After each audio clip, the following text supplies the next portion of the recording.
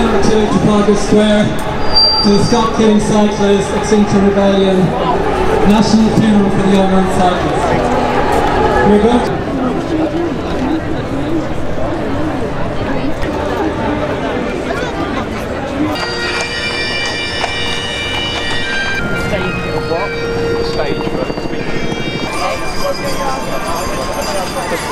We must mobilise all of the campaign groups London Cycling Campaign, Campaign Cycling UK, British Cycling, etc. We must start radically mobilising in the streets and so that we have a mass protest in front of the Treasury next year. So my message is mobilise, radicalise, go back to the cycling group and say get on the streets and get behind Extinction Rebellion.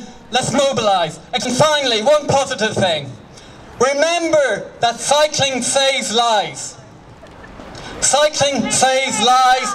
Hundreds of thousands of lives can be saved and protected. So let's finish, as we always do, with three positive cheers for cycling.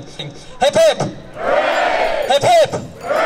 Hip hip! Bless you and thank you everybody for coming.